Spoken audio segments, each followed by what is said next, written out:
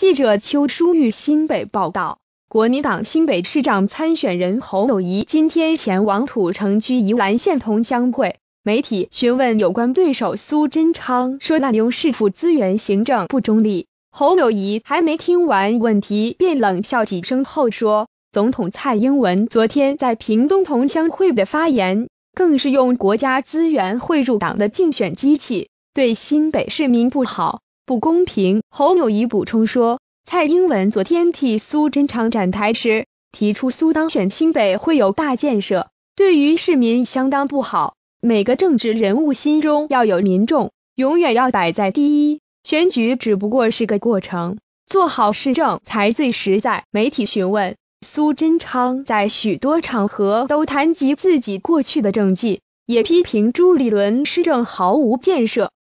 侯友谊表示。每个时代的县市首长都会为地方留下政绩，我们都抱住感恩的心情。这几年新北市推动三环三线、公共托育、国民运动中心、老人长照关怀据点等，都是老县长时代没有的政绩，应该是要往好的方向一棒一棒堆叠上去，让新北市更好。另外，新北市议会决议通过对于失业劳工子女教育经费比照公务员补助。侯友谊说挚爱难行，让苏贞昌直言该翻桌。